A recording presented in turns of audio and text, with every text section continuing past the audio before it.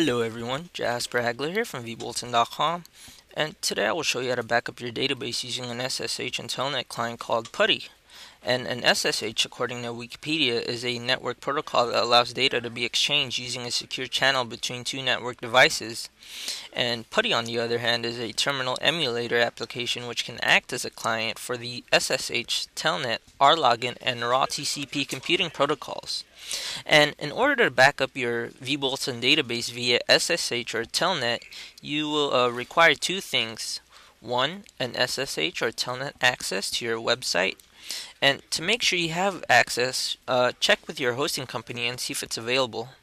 And the second requirement is the uh, PuTTY program. So to download the PuTTY, just go on Google and type in PuTTY client download and uh, click on the first result. And you should be taken to the PuTTY download page.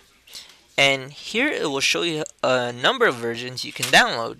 And I would download uh, the putty.exe under the binaries for Windows uh, on uh, Intel x86. And uh, once you have these two requirements, we can begin. Okay, so first open your SSH and Telnet PuTTY client and log into your website. And as you can see, I'm already logged into my account, and I will be using my vBulletin test website as an example.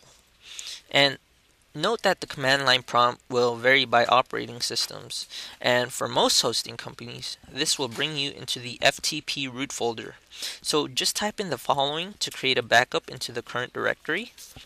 My SQL dump space dash dash opt space dash capital Q space dash u space green 4 underscore db user which is my database username and then space dash p space green 4 underscore database name which is uh, my database name and uh and then space greater greater sign symbol space backup name dot sql which will be the name of the backup file and um, remember to change the green 4 underscore db user and uh, green 4 underscore database name to your database username and database name.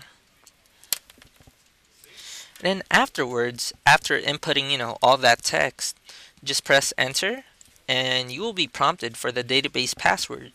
So just enter it and the database will back up.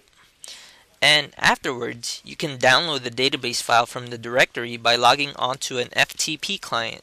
So, as you can see, the backup name .sql is in my root folder. So just download it to your computer, and that's it.